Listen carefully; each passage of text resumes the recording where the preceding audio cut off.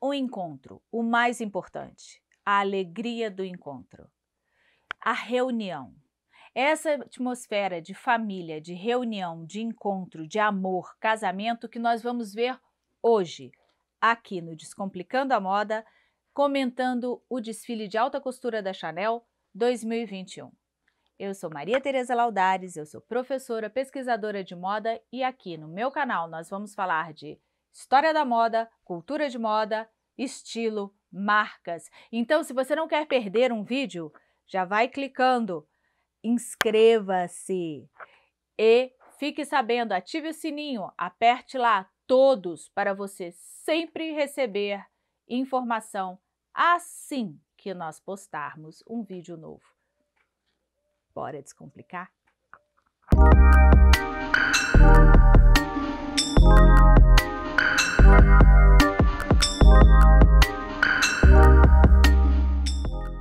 Viard volta ao Grand Palais, que já foi cenário e hospedou vários desfiles da alta costura da Chanel, para mais uma vez propor uma coleção de alta costura, desta vez Primavera-Verão 2021, que ela faz um cenário imaginado não numa comemoração do Hits, mas numa comemoração, como diz ela, en village, ou seja, no, no campo, na cidade, uma comemoração que é um casamento. Essa inspiração da Virginie Viard não surge do à toa, não, como eles tendem a demonstrar, mas verdade é que os casamentos ano passado, ainda em tempos de pandemia, ou seja, melhor dizendo, já estávamos em tempo de pandemia, aconteceram no sul da França, sim, casamentos fechados em ambientes abertos para grupos menores, como é esse que ela propôs, uh, como por exemplo o casamento da filha da, ou era filho da Francisca Thyssen-Bornemisza, e ela colocou no, no, Instagram tudo muito fechadinho, todo mundo de chapéu. Então, isso aí eu acho que é uma boa forma da Virginie já propor a esses próximos casamentos que certamente virão uma boa coleção, né? Uma boa ideia. Vamos ver esse casamento? O casamento tem uma carinha dela, toda especial. Cada vez ela se distancia mais daquilo que a gente conhecia do Karl Lagerfeld.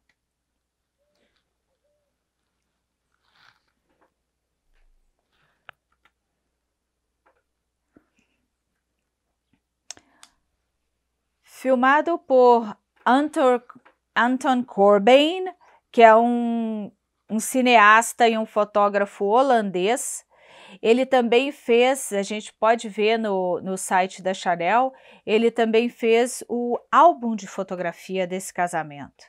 Então chega todo mundo para o casamento en village, na...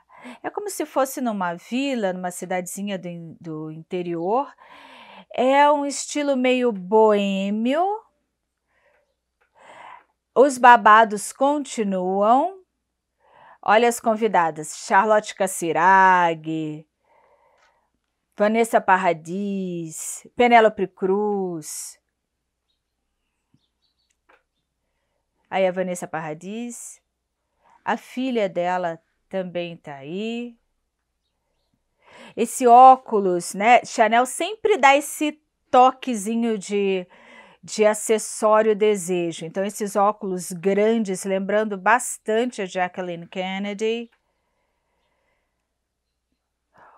Dessa vez, a Virginie vai mesclar as flores verdadeiras com as flores em, em seda feitas pela Le Marrier. Essa saia já é tendência há muito tempo. De novo, todos aqueles, aquelas, aqueles tecidos escolhidos pela Chanel, como o tule, a renda, a seda, o tweed, estão presentes.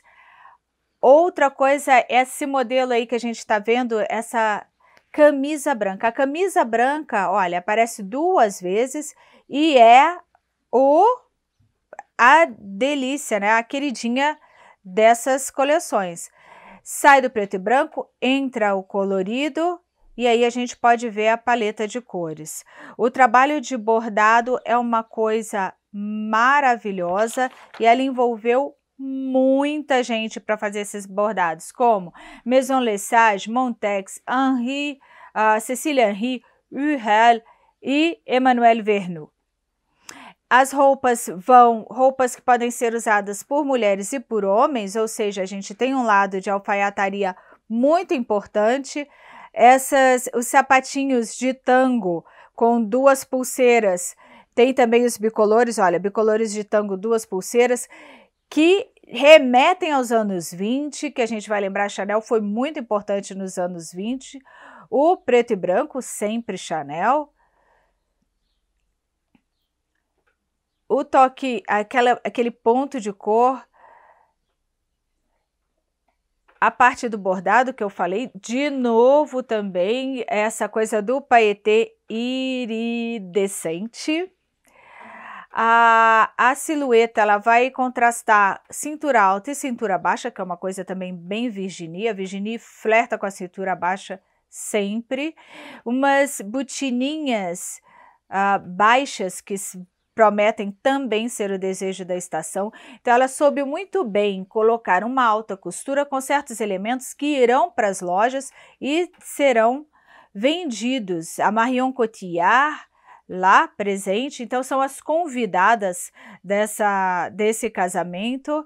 E foi interessante que foi proposto uma, uma socialização entre as modelos que desfilaram e essas uh, celebridades que atenderam ao desfile, que uma olhava para outra, sorria de uma forma muito sincera. Então, realmente teve esse ambiente que eu acho que foi o que a Virginie mais quis passar, essa coisa da leveza, da elegância, porque uh, o trabalho, os ateliês da Chanel a gente já conhece, já foi bem trabalhado ao longo dos anos, diferente de outras casas, a Maison Chanel, a gente não tem problema com isso. Dessa vez eles fizeram até mesmo as Uh, modelos visitarem os ateliês. Então, visitaram o ateliê Flu, que é onde a gente tem toda essa parte de tecidos mais leves, toda essa parte de fluidez, todos os, os bordados e rebordados, a gente vê Olha aí, o tule de seda. A gente pode ver que esse tule de seda, às vezes as pessoas me perguntam, ah, tule, TT? Sim, o tule de seda ele é leve, ele é suave, tá? Pela primeira vez foram usadas as, as flores de verdade, também vale lembrar. O trabalho da Urel, ela usou um... Ela reinterpretou esse trabalhinho de contas minúsculas com que ela comprou uma casa que chamava Kitmir, que era da duquesa Marie, irmã do, do Grand-Duque Dmitri, que namorou a Chanel nos anos 20. Então, como agora a gente está na década de 20, a gente tem de novo muita gente trabalhando. Androginia, que foi dos anos 20. Olha aquele corte que a gente viu no Valentino e a gente também viu na manga do louco lá da, da Dior. Essa, esse, esse acinturado princesa que vem com um, um, um recheio eu esqueci o nome, mas aí é, é pespontado ao longo. A camisa branca com uma saia chique, a camisa branca solta, lá despojada. Não se iluda, isso aí não, não, não quer dizer simplesmente que joguei uma camisa branca qualquer. Tem muito corte, tem muita estrutura, muita técnica trabalhada para formar essa fluidez dessa, dessa camisa. O lamê, o lamê foi fortemente usado em todas as coleções. Eu acho que é um tecido que a gente vai ver reaparecendo aí bastante. Assim como peças de cabeça, Dior também propôs muitas peças de cabeça. A gente vê aqui de novo, apesar de que a Chanel sempre utilizou. O que a gente vê um pouco de ausência aí é, são os é, é, são Cs, né? Porque a gente tem uma ausência de logomarca aqui, apesar de que não aparece tanto na alta costura.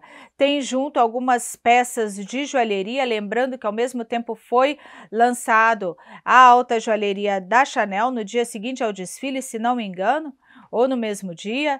Uh, são peças magníficas. Os tons casando, esse trabalho de crochê que a gente está vendo nesse, nesse conjunto azul foi feito pela, pela Lesage, se não me engano. Olha a coisa dos babados. E essas meninas que estão, essa moça, ah, perdão, essa moça ela fala que ela visitou o Ateliê Flu para ver como era bordado essa peça e que quando ela vestiu, ela se sentiu assim tão honrada por poder levar uma peça tão preciosa que ela realmente estava muito feliz. Essas pequenas margaridas aplicadas, a Vanessa Paradis,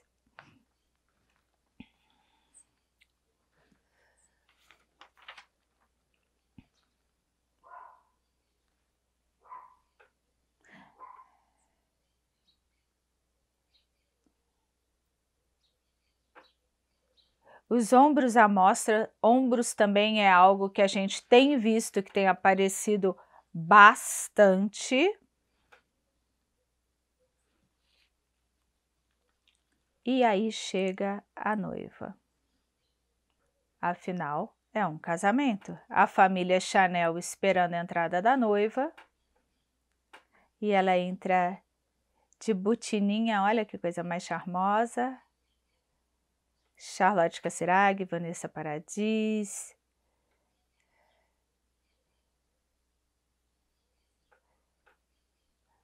Esse aqui é o desenho que foi da, da Kit Mir, que eu falei com vocês. Essas borboletas.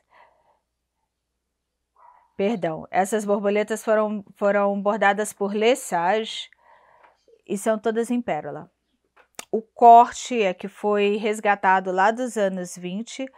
Algumas peças, a, a Virginie se inspirou em peças que estão na exposição, que agora está fechada, mas que nós já comentamos aqui também no canal. Se você ainda não viu, vale a pena olhar. Todo mundo levanta. E a Virginie Viard, Caroline Magret, Lily Depp, que é a filha da Vanessa Paradis com Johnny Depp.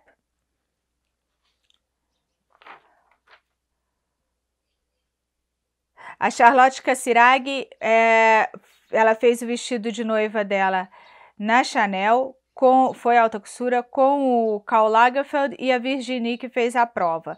Então ela tem um amor todo especial pela marca.